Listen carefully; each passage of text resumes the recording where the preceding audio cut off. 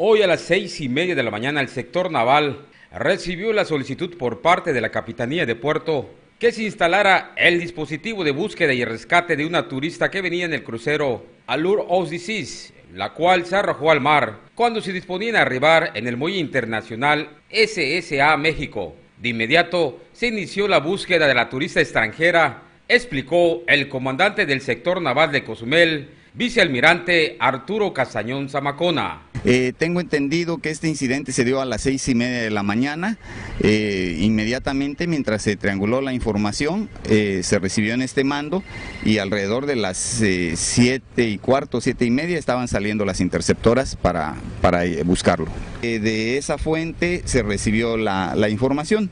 Ellos tienen una serie de dispositivos de seguridad y vigilancia a través de personas y cámaras y eh, damos por cierto el dato, pero aparentemente es del sexo femenino. ¿Ni el nombre?